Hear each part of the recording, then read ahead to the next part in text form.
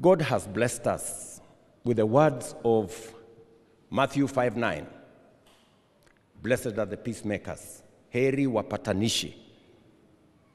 I have just come from a trip in Nyanza. And it is amazing what God can do.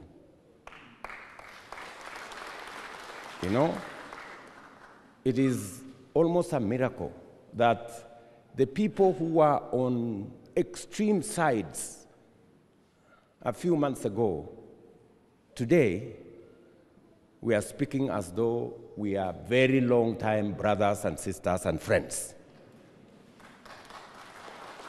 And that is the beauty of our country. That is the beauty of our country. That when circumstances demand,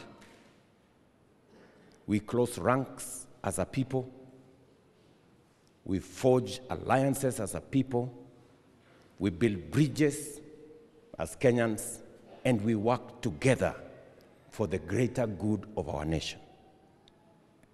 And I want to encourage and promise us as Kenyans that those who want to divide us will fail, and they will fail miserably.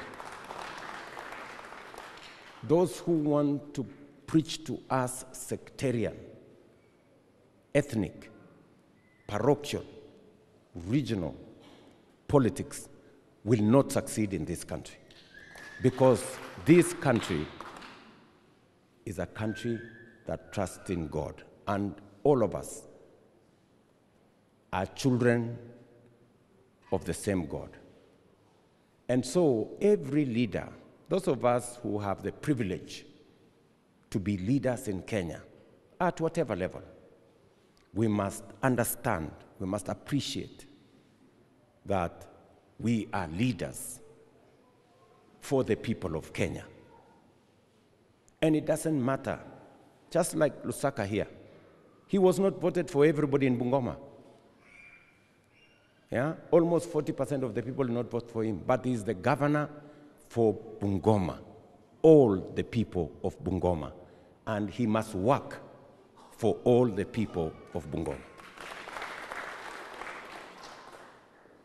And I also promise that I will work for all the people of Kenya without discrimination, without exclusion, because that is what is demanded of government by the Constitution, and I am perfectly aware that it is also the will of God to work with everybody, to work for the people of Kenya in their entirety, in their unity. And I want to promise Kenyans that I will go out of my way. I will do whatever it takes to make sure that this country is united and that no part of Kenya is left behind as we march into the future as a people. It is our collective responsibility as leaders to walk in that manner. I know some people, you know, ask questions. What happens to us? Those of us in Bungoma who eh, voted overwhelmingly for this administration. We may ask, what happens to us? We can see Atandi and all the other people are, you know, surging into this place. What happens to us? I want to tell you that this country, God designed it in a way that all of us can belong. And whatever is in Kenya, if we work together, we can bake a bigger cake that all of us can be satisfied. So, nobody should worry about the unity of Kenya.